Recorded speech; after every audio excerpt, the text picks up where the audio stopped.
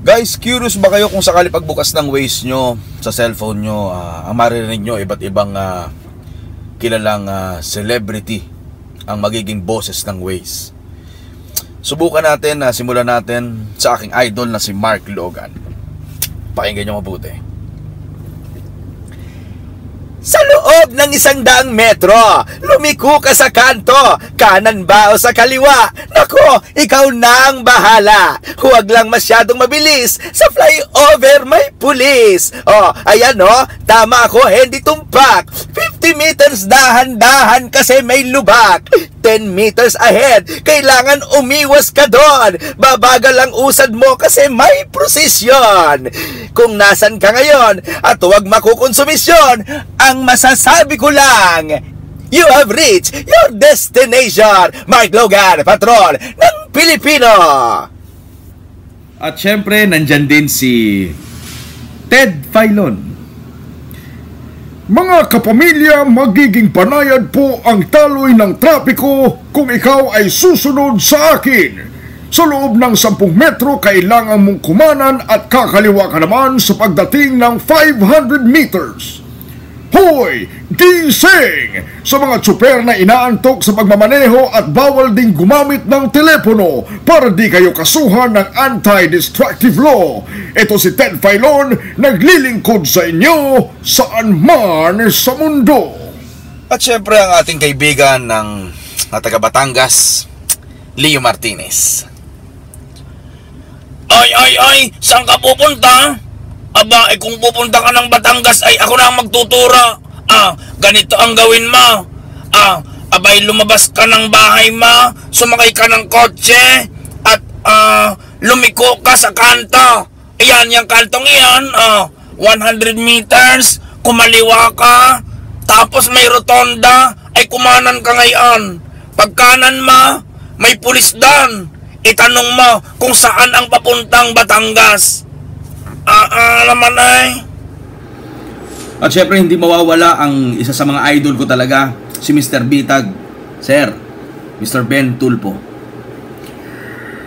Good afternoon mga kaibigan. Eh? In 200 meters you have to turn right and then you follow my instructions.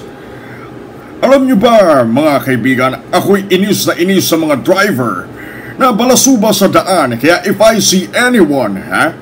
Na tarantadong magmaneho. Hoy, Mamang Chuper, I want to see you in my office right now. Tingnan natin kung sinong matapang sa ating dalawa, ha? Kung ikaw talaga maangas, magpakita ka sa akin. Kasi sa amin sa Bitag, we don't allow ang mga ganyang taong tulad mo. Magtago ka na. Ha? At saka syempre, si Kuya Kim Atienza. Mga kapamilya, umiwas lang po ngayong oras sa mga babiyahe ng Maynila para di maipit sa trapiko. Mga kapamilya, kunting kaalaman. Ang lungsod ng Manila, kilala bilang Maynila, ay punong lungsod ng Pilipinas at sa 17 lungsod na munisipalidad na bumubuo ng Kalakang Maynila. Matatagpuan ang lungsod sa baybayin ng Luok ng Maynila na nasa kanlurang bahagi ng pambansang punong rehiyon na matatagpuan sa kanlurang bahagi ng Luzon. Isa to sa mga sentro ng negosyo na umuudlad, kalakampok ng tinitirhan na humigit 19 na milyong tao. Ito po si Kuya Kim na nagsasabing maging mapanuri, mapagmatsyag, matanglawin. At syempre, ang isang uh, batikang uh, news anchor Arnold Clavio Mga igan, sa loob lang isang daang metro, huwag kakaliwa sapagkat masyadong matraffic. In 30 meters, kailangan magbago ng ruta para di maipit sa mga nakapilang sasakyan. At paglampas mo ng kahabaan ng GMA Kamuning, sabay-sabay tayong maging saksi. Ako lang po Arnold Clavio, nakatuto. Ito naman si um, ang ating dating presidente, Erap Estrada.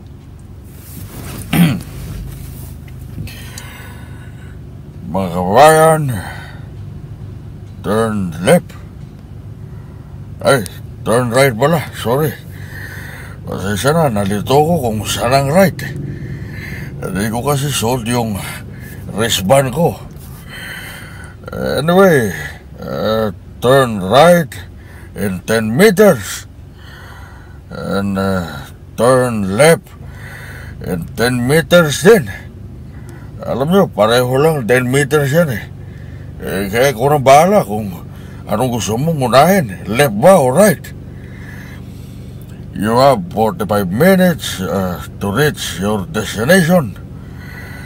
I will find a way na hindi ka matraffic. Meron akong alam na shortcut. Kaya lang, malayo. At syempre, ang batikang ah, radio announcer na si Mr. Ray Langit. Mga kaibigan, ito po si paring Ray. Mula sa QC, papuntang Paranaque.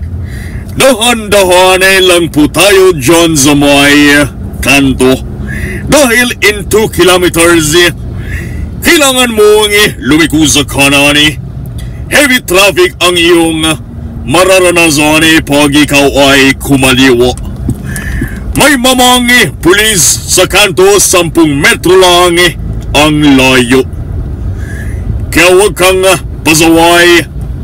Mamang tsuper, kailangan mabagal lang ang pagmamaneo.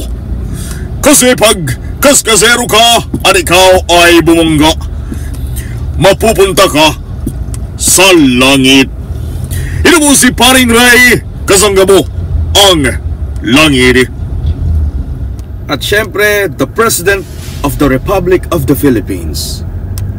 Syempre, ang aking idol, Rodrigo Duterte.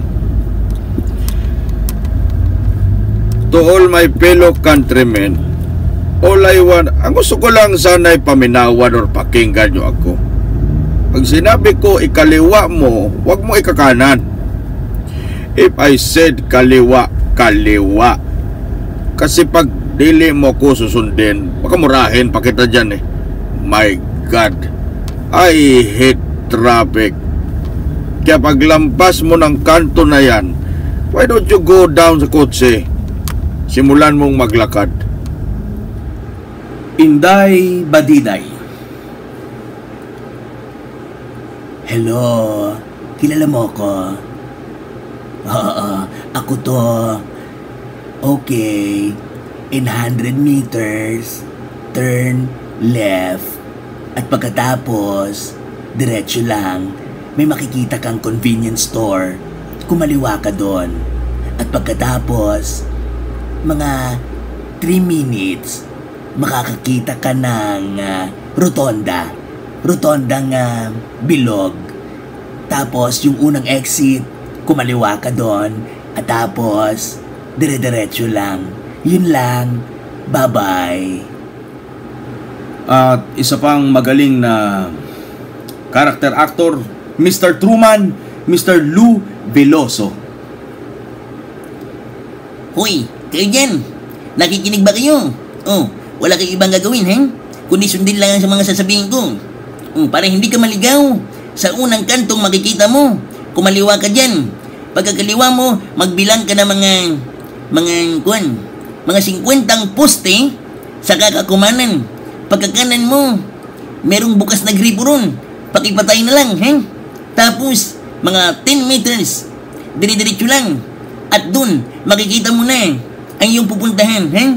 Bye-bye! Gas Abelgas.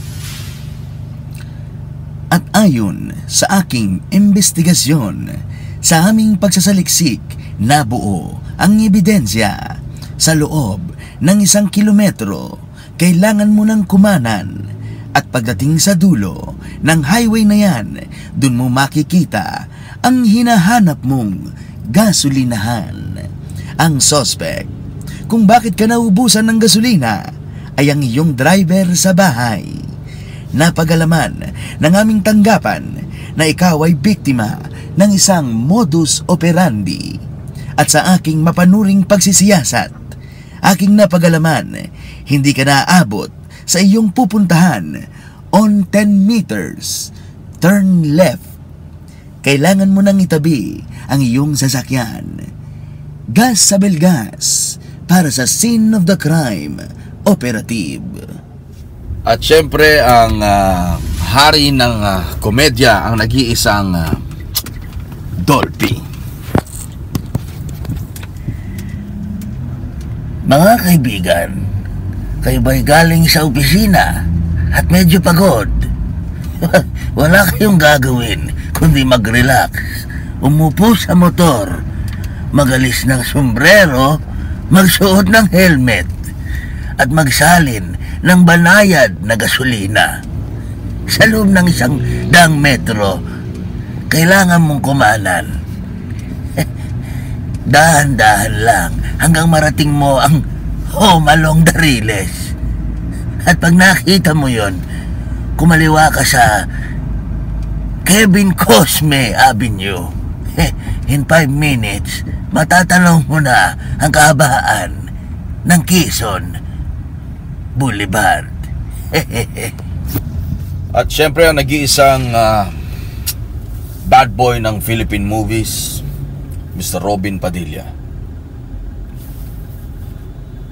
Ah, mga tol. At ako'y nagpapasalamat at ah, ang aking boses ang iyong ginamit dito sa iyong ah, napakagandang application na Waze, ha? Ang wala kang gagawin, tol, kundi sundin lang lahat ng sasabihin ko. In 100 meters, you have to turn left or else pag hindi mo ako sinunod, tol, Google Pay kita, tol, ha? At kailangan pag turn left mo dyan, kailangan mong kumanan. Ah, kailangan nyo pong kumanan pagdating sa police station. At ah, dire-diretso lang, tol, ha? At mararating mo yung pupuntahan mo sa loob ng 35 minutes. At masasabi mong, My God, my goodness, it's nice to be back. At syempre, ang isang batikang ah, TV newscaster, Mike Enriquez. Sa ngalan po ni Vicky Morales mga kapuso, ako naman po, Mike Enriquez, sa loob ng tatlong kilometro kailangan mong kumaliwa. Kung hindi ka susunod sa akin ay tsak na hindi ka makakarating sa iyong paroroonan. Excuse me po, mga kapuso, dahan-dahan lang po tayo sa pagmamaneho, no? Para makaiwas sa disgrasya. Ito ang balitang walang kinikilingan. Ako po, Mike Enriquez, nakatutok 24 oras. Paso! Ang dating alkalde ng ah, Maynila, si Mayor Alfredo Lim. Alam nyo, ah, simula nung ako'y naging alkalde ng Maynila noon eh, oh, eh lumuwag ang daloy ng trapiko sa Maynila eh. Oh, eh pati drug trafficking, napatigil ko eh. Oh, ha? Eh, kaya sundin mo, sundin mo ko kung ayaw mong matraffic. Eh, isang kilometro, oh. Ha? Eh, lumiko ka at pagkatapos eh, kumanan ka sa dulo ng kalye. Alam mo, ikaw, ikaw, ha? Tinitira mo ko lagi eh. Ah, oh. Oh, eh. Eh, kaya lang naman ako naiiyak. Tuwing maaalala ko yung lola ko. Oh. Ah, At syempre, si Ben Tisoy. Ang akala ko lumampas ako sa pupuntahan ko. Ay, buti na lang. Meron akong ginamit na application sa telepono. Yung Waze. Ay, in 100 meters man dyan, kumaliwa ka. Ay, Sa syempre ang People's Champ Manny Pacquiao. Ah, yun no, ah, nagpapasalamat ako sa mga nag, sa mga sumuporta ng laban ko noon. Ah, maraming salamat na sumusuporta pa rin kayo ngayon kahit natalo tayo kay Horn ah, ay I will try my best na magkuan, magpo-practice ko na kasama si Kuan si coach. Ah, thank you very much sa mga aking mga sponsor. Maraming salamat sa iyo kay Mama Junesia, kay Jinke, I love you, I love you, I love you.